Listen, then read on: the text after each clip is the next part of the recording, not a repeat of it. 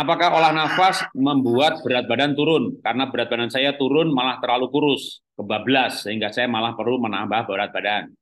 Olah nafas tidak menurunkan dan tidak menaikkan berat badan. Orang yang berat badannya turun, apalagi terus-terusan, biasanya orang diabetes atau orang kanker, udah kemo, radiasi, lalu sistem imunnya uh, terganggu karena kemo radiasi itu, ya, yang pasti paling banyak orang kurus itu diabetes kalau orang berat badannya turun, turun, turun terus, cek gula darah. Ya, cek gula darah. Kalau di atas 150 atau bahkan di atas 200, Anda akan punya masalah dengan berat badan. Ya, jadi cek gula darah. Atau bisa juga sudah tahu kalau dirinya gula darah, diabetes, lalu dietnya terlalu ketat. Anda bukan low karbo, tapi ada no karbo, Anda berbahaya. Kehilangan masa otot satu persen maka kehilangan kebugaran 3%. Maka untuk menaikkan berat badan, setelah olah nafas, darahnya lancar, energinya lancar, latihan otot seperti kemarin pagi ya. Kita sekarang udah sering cukup sering tiap pagi hari seminggu dua kali kita latihan otot. Maka harus latihan otot. Cara menaikkan berat badan nggak ada cara lain, bukan olah nafas tapi latihan otot. Tapi baiknya sebelum latihan otot Anda olah nafas dulu, lalu latihan otot ya. Nah, setelah latihan otot jangan lupa harus makan protein yang baik. W protein kayak misalnya bikin kefir ya, beli susunya yang non fat. Udah, jangan lo lagi non fat supaya curd sedikit. Bilang non fat aja masih ada nanti fatnya. Yang putih-putih itu curd. Nah, beningnya itu W. W-nya itu protein. Anda punya duit lebih banyak ya langsung beli aja W. Ya, beli W powder yang untuk gain. Tapi kebanyakan hati-hati. Kalau Anda beli di toko ya W powder untuk otot simak dulu berapa kalorinya. Kebanyakan gulanya tinggi. Kalau ada kombinasi dengan diabetes Anda jangan beli W powder. Itu gulanya tinggi. Karena untuk orang yang latihan otot butuh protein tinggi dan butuh gula yang banyak. Waduh dia itu gulanya tinggi ya. Anda bikin sendiri. Makanya saya kenapa dari 2009 sejak kena diabetes saya butuh protein juga saya udah bikin kefir dari tahun 2009 dan setiap hari dari 2009 saya minum kefir ya untuk untuk dapetin W-nya. Kalau ada kombinasi dengan kanker mau naikin berat badan, maka W-nya Anda cari W vegan. Ya, W powder vegan. Kalau saya ke Amerika saya beli, ada teman ke Amerika saya titip, kalau enggak ya beli di online, tapi harganya udah dua kali lipat, yaitu risiko ya uh, untuk beli ya memang barang impor.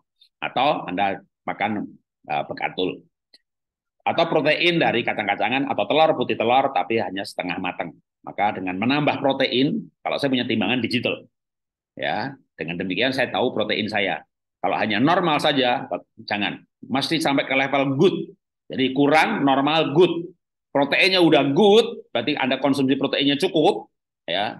Kalau makan tahu ya empat, kalau makan tempe empat butir empat, kalau telur saya sehari ya lima gitu ya. Kalau anda ada kolesterol, takut kolesterol ya kuningnya jangan, putihnya delapan, maka proteinnya good cukup.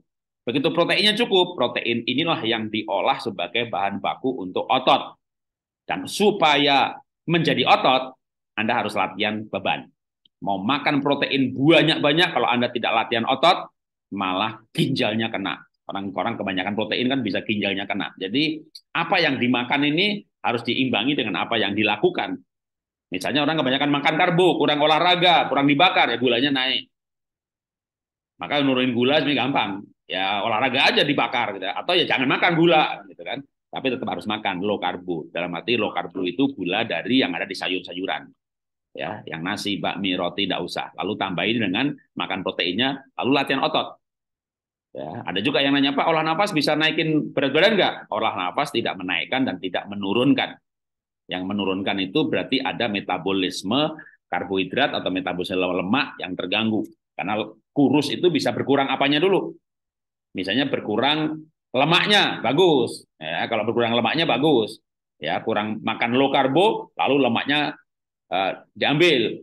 Tapi konsumsi lemaknya atau karbo karbo itu nanti akan menjadi lemak sebenarnya betul-betul zero karbo, wadah, lemaknya habis, ototnya dimakan, urus. Jadi Anda harus harus simak ya modul makanan.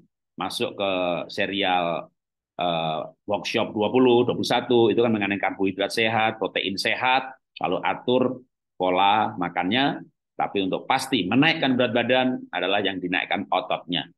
Kalau naikkan berat badan lemaknya mah gampang. Anda makan karbohidrat, makan nasi, nanti nasi itu menjadi gula, gulanya nggak kebakar, kelebihan, kelebihan gula itu akan disimpan sebagai lemak. Ya, kadang lemaknya bukan bertambah banyak, tapi sel lemaknya gendut-gendut. Ketika kita kebanyakan karbohidrat, maka gendut naikin berat badan itu gampang banget dengan makan karbohidrat. Tapi menaikkan nah, otot itu yang penting. Kalau menaikkan badan, ah, sekedar menaikkan berat badan, udah makan karbo aja banyak-banyak, makan nasi aja banyak-banyak, nanti gemuk, berat, badan naik, yang naik di perut, ya kan? namanya lemak perut, ah susah urusannya nanti malah ya. Naikkan berat badan dengan menaikkan otot. Itulah kenapa sekarang kita sering banget latihan otot. Ya.